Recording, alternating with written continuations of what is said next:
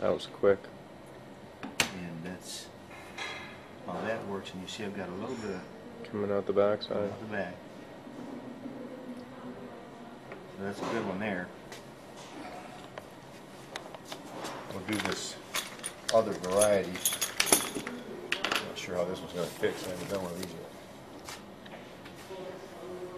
Was that just a narrower terminal? I think so, yeah, and you can tell the, the hole size is different too. This is a different hole size than that one, okay?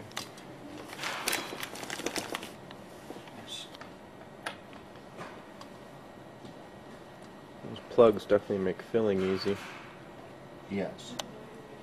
That's definitely a lot better than trying to get in there with a solder wire and feed it hmm before the cables and everything else get hot. And these cables are pre-tinned? No, uh, yeah, they are. They're not uh, like pre-tinned in a solder pot, but these are what you would call um, tinned copper stranding, multi-strand.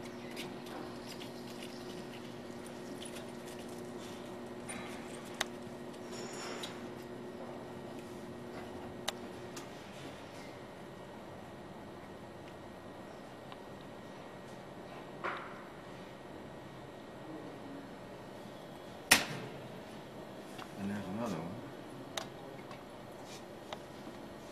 Okay. Okay.